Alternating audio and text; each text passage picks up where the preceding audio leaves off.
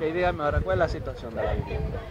Bueno, imagínate, están mirándola al punto de, de, de, de, de colapsar ya y hubo que... ¿Qué, ¿Cuándo ya se terminó de poner así la casa?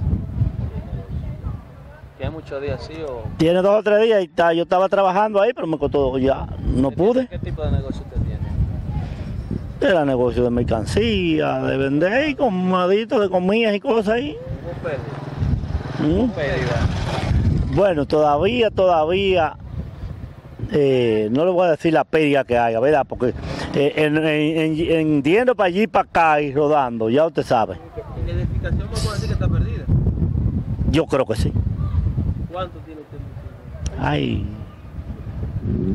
Una vida. una vida interna.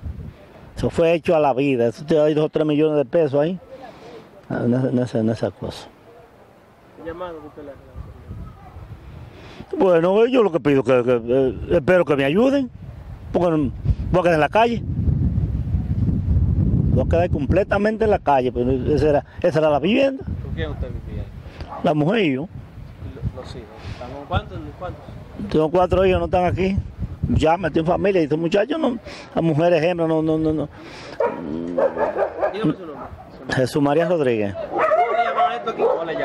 Esto es muerto. Gracias. Ok.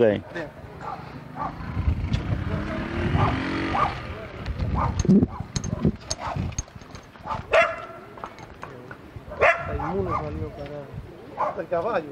Sí.